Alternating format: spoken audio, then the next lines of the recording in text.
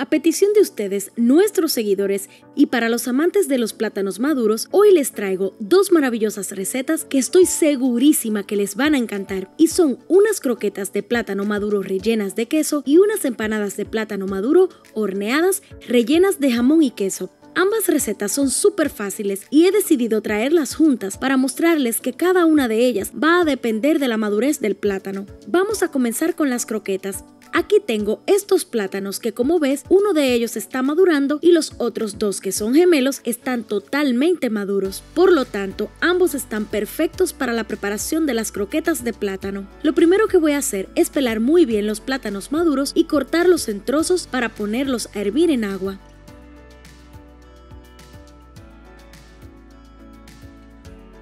Voy a agregar una cucharadita de sal, una cucharada de azúcar morena y una ramita de canela que le va a dar un rico sabor.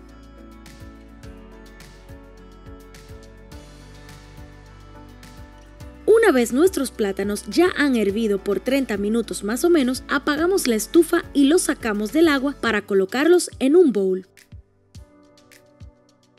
En este punto, aun cuando están bien calientes, vamos a majarlos muy bien hasta formar un puré o mangú de plátanos maduros, así como ves aquí.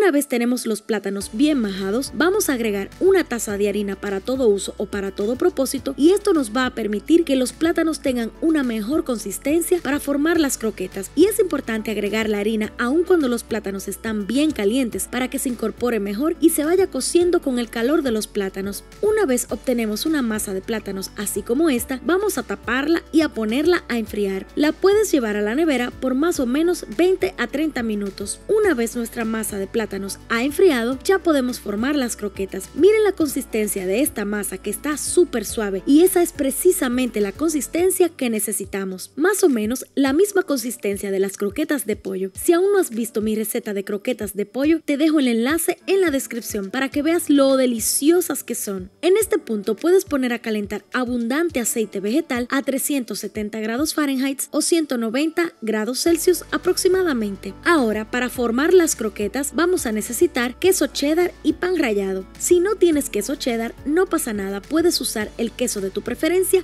o el que tengas disponible en casa. Ahora, tomo una cucharada de plátanos, más o menos esta cantidad, y la coloco en el pan rallado y rellenamos con el queso cheddar. Le voy a dar una formita redonda, así como ves que lo estoy haciendo aquí. Para las croquetas es bueno que el plátano esté bien maduro, pero las puedes hacer también con el plátano maduro normal o que está empezando a madurar. Pero para las empanadas específicamente el plátano no debe estar muy maduro, sino que debe tener una consistencia medianamente dura.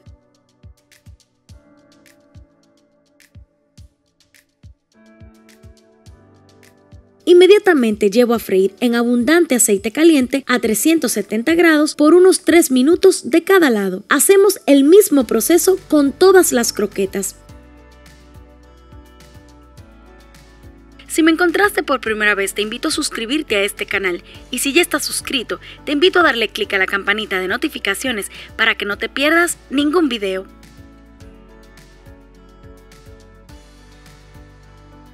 Y listo, una vez todas las croquetas ya están fritas, así nos quedan estas maravillosas croquetas de plátano maduro y queso que tienen un sabor y un olor espectacular. Y lo mejor de todo es que las puedes hacer como acompañamiento de tu almuerzo, para una merienda o una cena.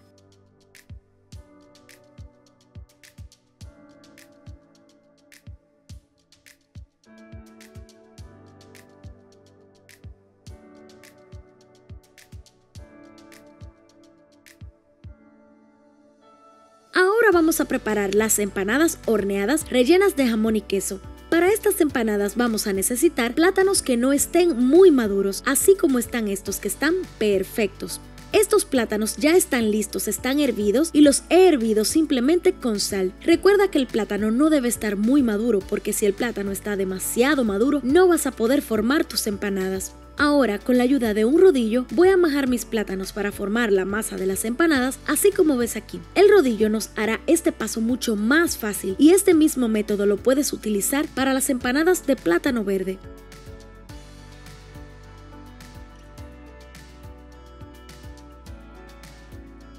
En este punto ya hemos logrado la consistencia perfecta, cuando la masa de plátanos no tiene ningún grumo y se siente lisita. Esta masa me ha quedado genial, así que ya podemos formar nuestras empanadas y rellenarlas.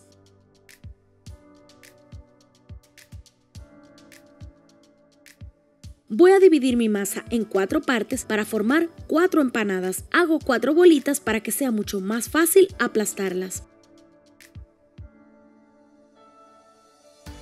Para extender las empanadas vamos a necesitar papel transparente en la mesada, como hemos hecho anteriormente con todas nuestras empanadas de plátano. Ahora, tomo una bolita y la cubro con otro papel plástico. Esta masa es muy fácil de aplastar. Aún podemos aplastarla con nuestras manos y la ayuda del rodillo, pasándolo suavemente por encima hasta obtener una lámina así como ves aquí. También puedes aplastarla con una tablita, plato o cualquier utensilio plano que tengas en tu cocina, hasta formar una capa que no sea muy fina. Y este consejo es sumamente importante y muchos de ustedes me han comentado que se les abren las empanadas y seguramente es porque la capa de plátanos estaba muy fina. Así que este consejito es crítico a la hora de formar tus empanadas de plátanos. En este caso, voy a rellenarlas de jamón y queso mozzarella, pero puedes usar cualquier queso o relleno que tengas disponible. Podrías rellenar de pollo, carne de res guisada, de berenjenas, en fin, de lo que más te guste. Ahora voy a doblar la empanada de plátano con muchísimo cuidado para que quede bien selladita y con la ayuda de un bol pequeño le voy a dar la forma de empanada. Ahora voy a llevar a una bandeja engrasada o con papel de horno para que no se me pegue mi empanada y continúo con las demás empanadas hasta completarlas todas. Más adelante te voy a dar el truquito o la clave para que al hornearse no se te desbarate y ya verás lo bella que va a quedar al final.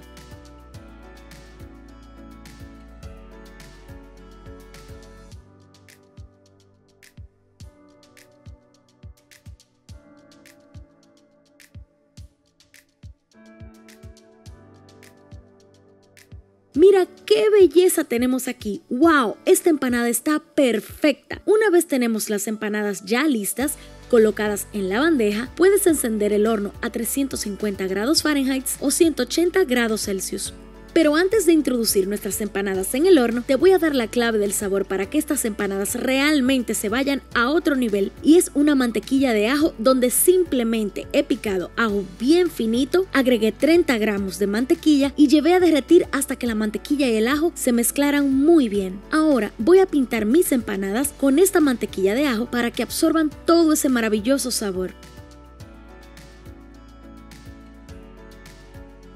Para que no se te abran en el horno, el truquito es que debes pincharlas con un tenedor para que el vapor de adentro salga y no te arruine tus empanadas. Ahora sí, vamos a llevarlas al horno a 350 grados Fahrenheit o 180 grados Celsius por unos 30 a 40 minutos más o menos. Luego de 40 minutos, así me quedan estas maravillosas empanadas horneadas de plátanos maduros rellenas de jamón y queso que están simplemente de lujo. Yo las voy a servir como guarnición con este maravilloso filete de costillas de res al vino porque simplemente es la combinación perfecta para servir mis empanadas. Si quieres ver cómo preparé esta deliciosa receta de filetes de costillas de res, te la dejo en el enlace de la descripción.